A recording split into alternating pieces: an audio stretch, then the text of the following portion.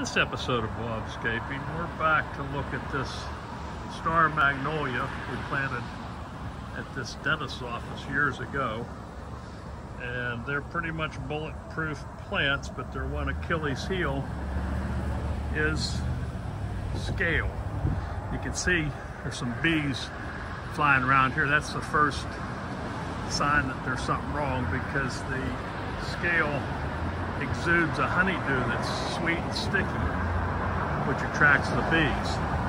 The second thing you look for, or the telling sign, is the black coating on the leaves.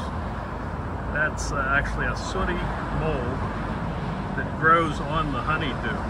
So that's the second sign. And then as you look inside the plant, you see the you can see the scale, the mama scale, it's like a turtle shell along these branches. And this is a pretty heavy infestation of scale. Uh, treatment wise, it's one of the insects you use the dormant oil for. And the other time to treat would be in August or September in Pennsylvania is when the crawlers, the little babies hatch out.